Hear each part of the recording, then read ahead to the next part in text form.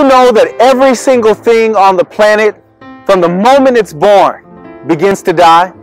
It was never meant to be this way. God had a plan of joy and peace and prosperity for every single person on the planet. He intended that life would be forevermore perfect and in harmony with His will.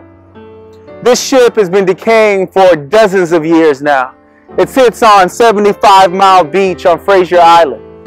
But did you know that the Bible tells us that the human condition will be changed one day?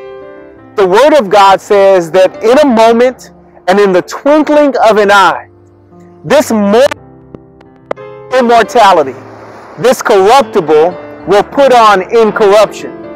I want you to know that God has a plan for everything that has gone wrong in this world and everything going wrong in your body. He's going to make it right.